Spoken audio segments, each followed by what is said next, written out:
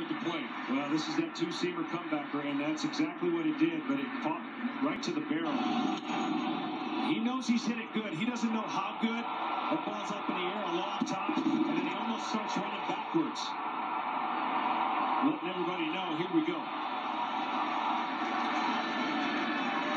And just out of the reach of Rajai Davis. A first inning run, now one on, one out.